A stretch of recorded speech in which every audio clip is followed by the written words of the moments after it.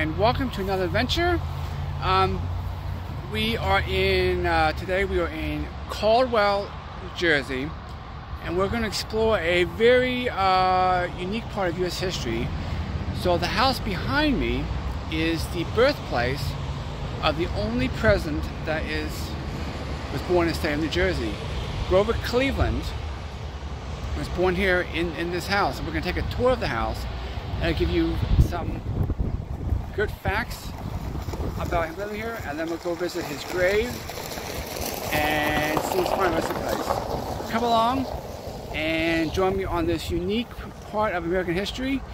Grover Cleveland, the 22nd and the 24th President of the U.S. Right here in Jersey. All right, here's a front look at the house that President Cleveland was born in. Two stories, very, very small. So this house uh, right by the busy uh, road here. So this house is actually owned by a uh, parsonage. So Grover Cleveland's father was a um, minister. Right next door is the church, St. Aloysius. That is the church he it at. So this this this was the parsonage to the nearby church, which is right over there. And he was born here. All right, so Grover Cleveland was born here in 1837, um, and he was and he died on June 24th, 1908, at the age of 71. Um, now he he was this, mentioned he was the 22nd and the 24th president.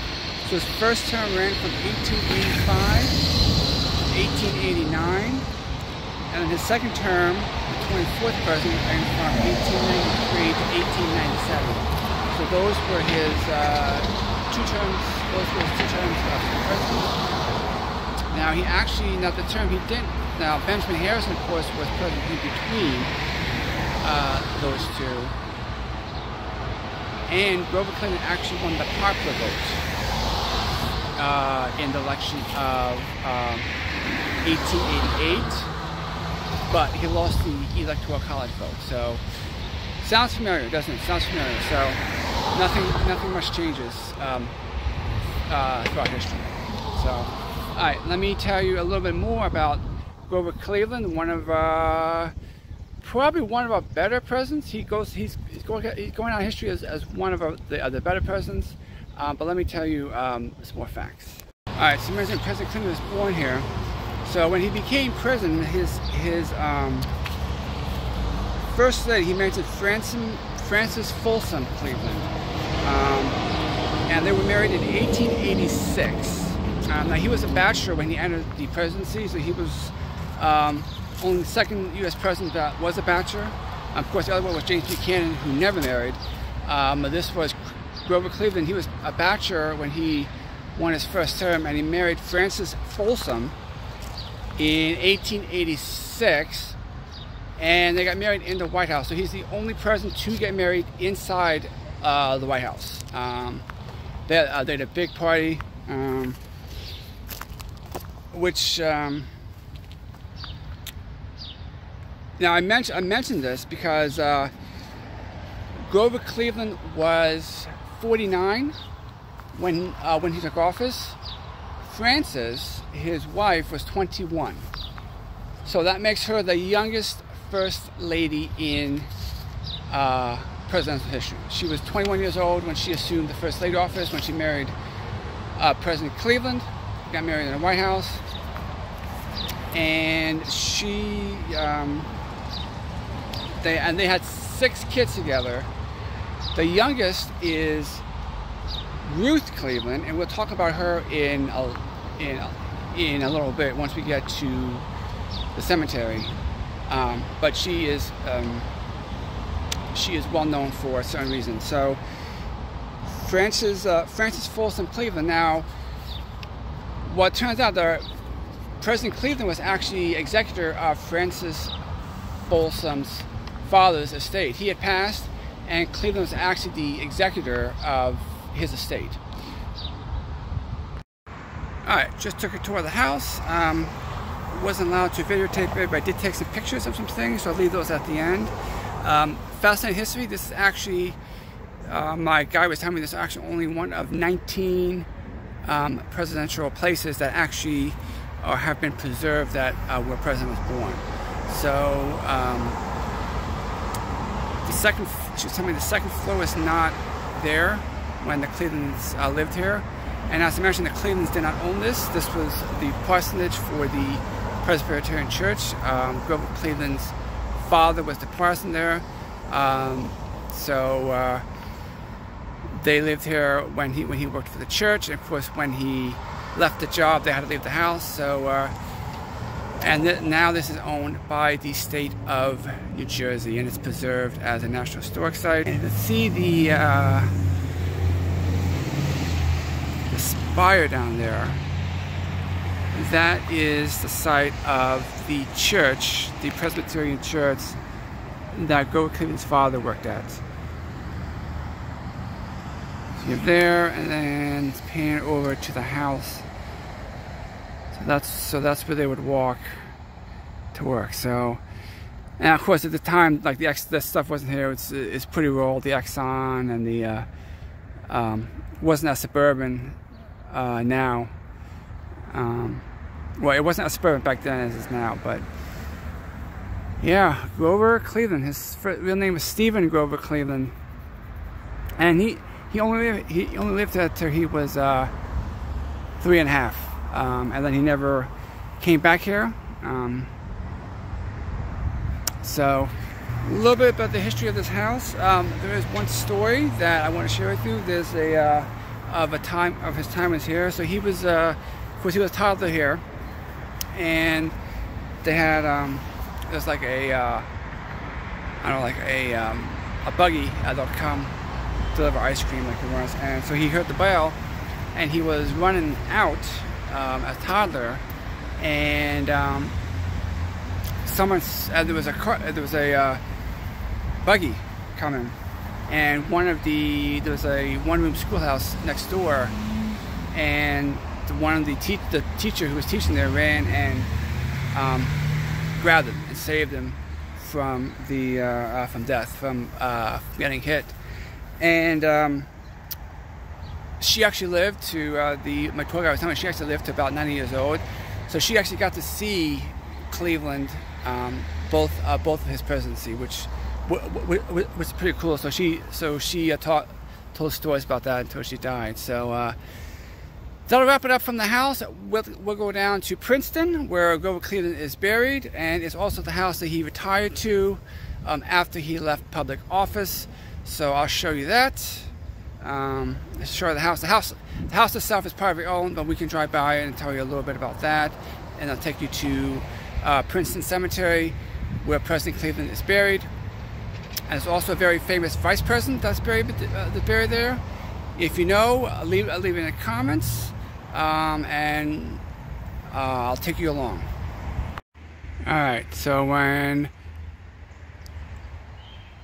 President Cleveland retired from public office. This is where he came to live out the rest of his life um, in Princeton, New Jersey. Here, um, he lived here for what I think nine years later. He passed after leaving the presidency, and then his wife, um, obviously, she was a good deal younger than uh, than he was. She lived here for for considerably longer um, after. So. Um, this is where he died, and then he's buried in the cemetery. And let's go check out the cemetery and see where he's buried. But uh, yeah, so this is this is the this is where this is the home where President Cleveland lived out the rest of his life.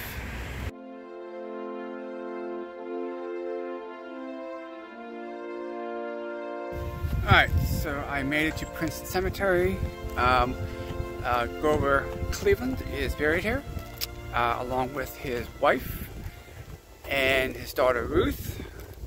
So they were actually out of maps at the entrance. I'm going to try and find this um, just via Google. And there's some other famous people here, buried here, including the very famous vice president. Vice president. Um, did you guess who it is yet? I'll tell you at the end of the video. We'll show you if I can find his grave. All right, let's go find President Cleveland's grave. All right, I think I see President Cleveland's grave over here. This big one here with, with the American flags, I believe. Sun's in a bad place.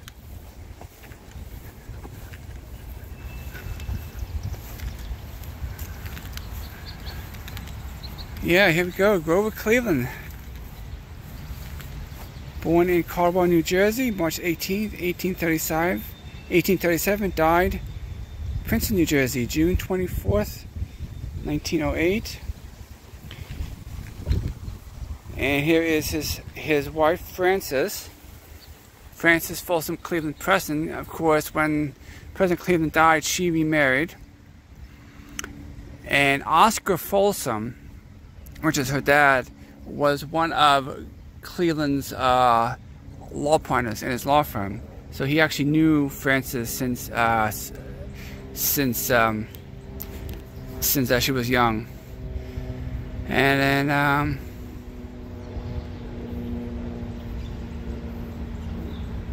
Frances died October 29th of 1947.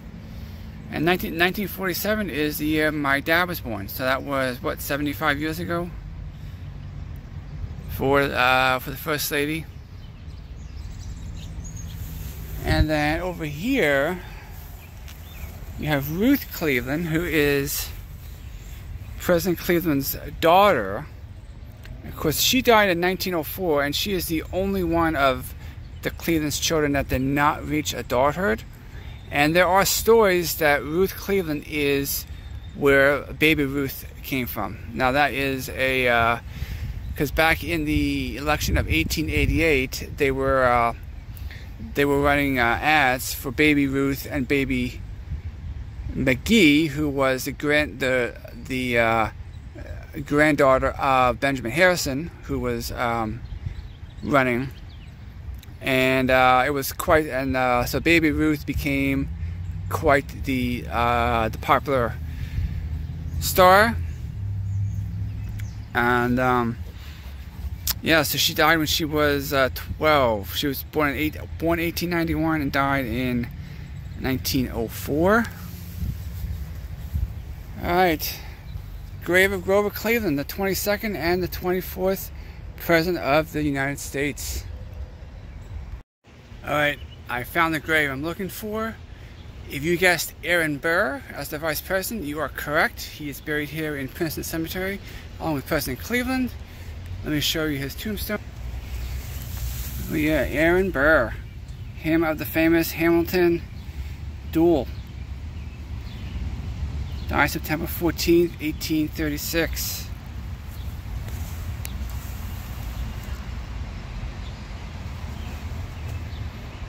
This tombstone's a little more well worn because he wasn't present. They don't uh, keep uh,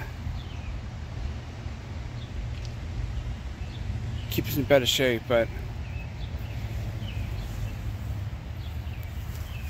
yeah, pretty cool, pretty cool, pretty cool history. There's also a lot of uh, you know presidents of Princeton University. They're all uh, you know they're all they're all buried here. This is called called President's Row. So these are all presidents of Princeton at, at one time. So Aaron Burr's uh, grave is right by right in right by President's Row. So you want to find these, and then the white stone here. That's the cat. It's uh, and then President Cleveland's grave. You can see it, the little uh, right by the tree right over there. That's that's President Cleveland's grave.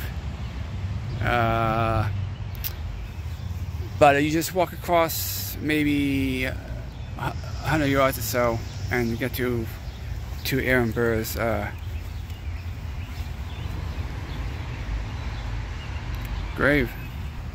Anyway, pretty cool stuff. Uh, that's going to wrap up this video. I'm, I'm, I'm going to head down to downtown Princeton, just walk around a little bit. I have I, I've never been there, so just walk around, grab some dinner, and head back home. So I hope you enjoy this adventure on the 22nd and 24th President of the United States. Um, we'll see you next adventure. I, I, I hope you guys have a great day.